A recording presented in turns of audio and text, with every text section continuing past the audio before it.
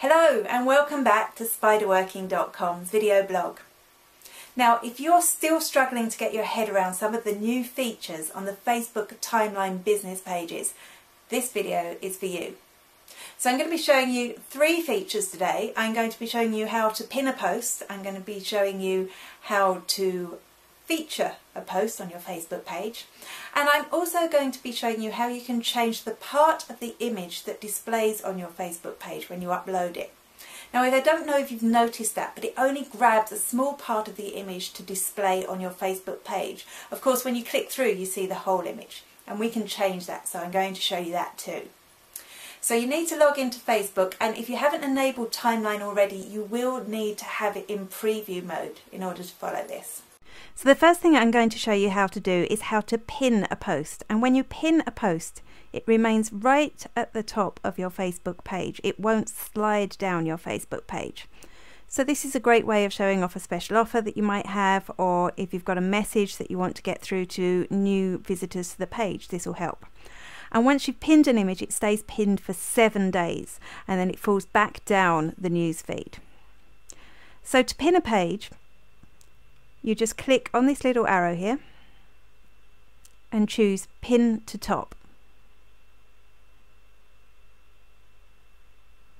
And you can tell that it's pinned because you get this uh, orange ribbon appearing on the top right hand side.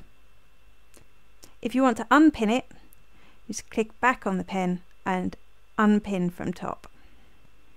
Okay, the second thing I want to show you is how to change the part of the image that displays when you post an image to Facebook.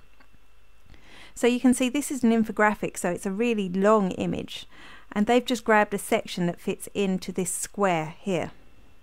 Now if I click through to that image, you'll be able to see it in full size as always.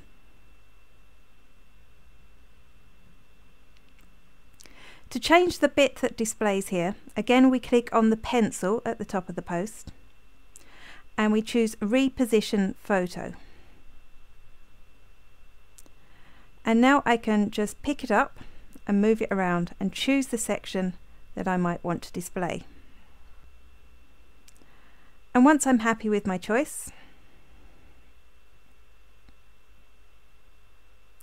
I click Save. If I want to go back to the original position, I can click Default Position, or if I've changed my mind, I can click Cancel. The final thing I want to show you is how you can feature an image. Now unfortunately a featured image can't be a pinned image and it spans the whole width of your Facebook page.